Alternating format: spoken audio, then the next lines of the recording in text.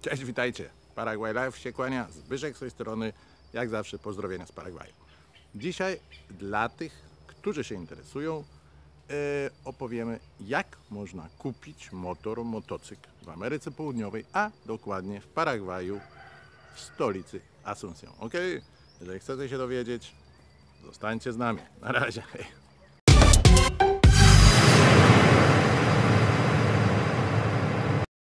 No i tu już dojechaliśmy do Yamahy w Asunción. To jest ulica Eusebio Adziala. To jest ten budynek. Może nie aż tak reprezentacyjny, za to ceny mają lepsze. No i tu widzicie jest taka handlowa, dość ruchliwa ulica. Mamy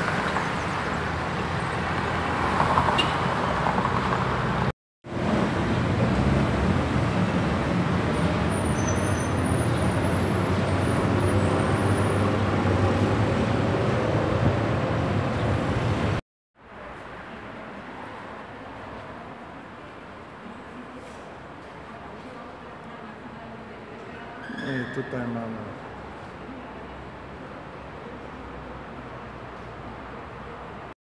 No, także tutaj sądzę, że jak siesta się skończy, to sądzę, że załatwimy wszystko. O, taki terenowy motor załatwimy i postaramy się przekazać Wam właśnie te wszystkie wiadomości, które są niezbędne, jak to się załatwia, czy gotówką, czy jak, jak te wszystkie sprawy konkretnie załatwić, plus ubezpieczenie. Dobra? Na razie trzymajcie się. Nawet nie widać, nagrała. No jesteśmy teraz tutaj, o z lodem, gdzie jesteś? No, Pokaż się. Schował się. Jest, no, o. No, teraz jest przerwa, więc mówię, siesta jest, więc pamiętajcie, żeby w siestę w Asunción nie robić zakupów, tak? No, bo się nie da od 12 do 14 mniej więcej. Także teraz czekamy, wypijemy sobie tererę spokojnie, wejdziemy do klimatyzowanego pomieszczenia i miejmy nadzieję, że dzisiaj dobijemy wszystkiego, tak? Znaczy, że wszystko zrobimy i załatwimy, co mamy załatwić. Także na razie. No, dalej siedzimy, czekamy w salonie Yamaha, to tak mniej więcej koło drugiej, także w Paragwaju nie należy się, nie należy się spieszyć. Dlatego co robimy? Tererę. I spokój.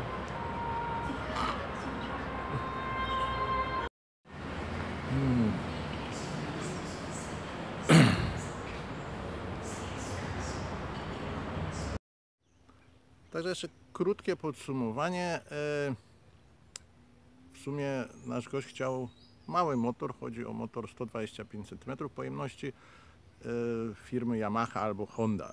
Yamaha okazała się trochę tańsza od Hondy. Różnice były no niewielkie, znaczy niewielkie w granicach 200 dolarów powiedzmy sobie na korzyść Yamahy. E, Dlatego zdecydował się kupić Yamaha. Także motor w Paragwaju może każdy kupić. Tak? To jest też chyba ważne dla Was.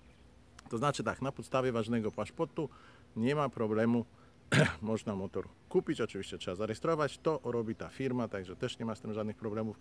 I ubezpieczenie trzeba iść ekstra na ogół do ubezpieczalni, do której poszliśmy, więc powiedzmy jak motor przywiozą, to Wam potem opowiemy, jak to wszystko wyszło i jak ta cała historia się zakończyła. Na razie wszystko wygląda ok. ok. Dobra, na razie, trzymajcie się. No, ponownie już u nas Piriwebuj, jeszcze bez motoru. Hmm. Wiadomo, w Paragwaju trzeba mieć cierpliwość, to jest najważniejsze, tak? Także mm, w jeden dzień to raczej tego nie załatwicie. Także wszystko niby jest ok po paragwajskiemu, także trzeba jeszcze no, parę spraw załatwić. Także sądzę, że gdzieś w środę, może w czwartek, motor będzie u nas.